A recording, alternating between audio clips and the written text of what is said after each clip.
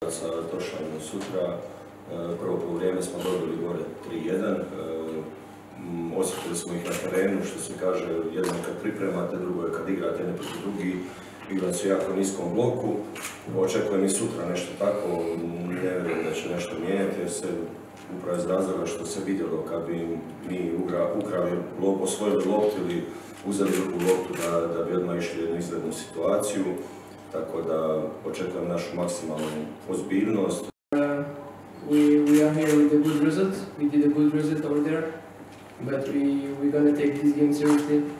we analyze our game, we know which mistake we did. And uh, we're gonna go in this game like if it's 0-0. So we're gonna do everything to win. Thank you, Lyndon.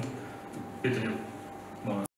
Mi svaku utakmicu, bar do sada smo pokazali da ne preskačemo, da, da se da je fokusu svaka koja je sljedeća na rasporedu i napravo smo jučer normalno analizu utakmice tamo odigrane gdje smo ovaj, vidjeli da imamo još prostora, da možemo još sa ajmo strane da možemo napraviti da budemo bolji. Da udarac sa strane, svi dolaze gore i to smo se isto posebno pripremali. Ali normalno, mislim da je ova momčad pokazala